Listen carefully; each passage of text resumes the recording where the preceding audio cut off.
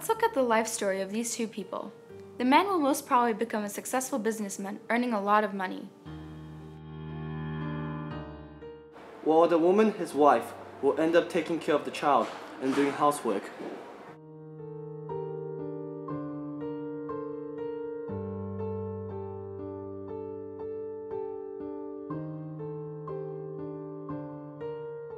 The man will soon start taking his anger out on his wife.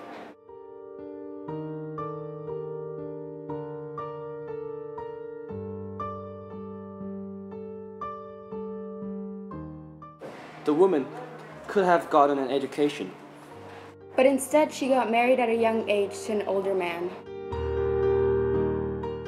Since the day she got married, she has been beaten and raped and fed only little food. The impact also reflected on the child's health.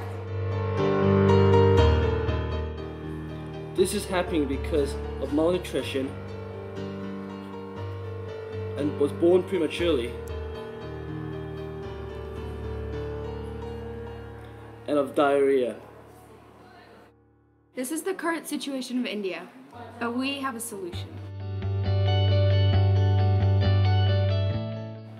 Providing education for everyone and medical care for the mothers will help situations in India.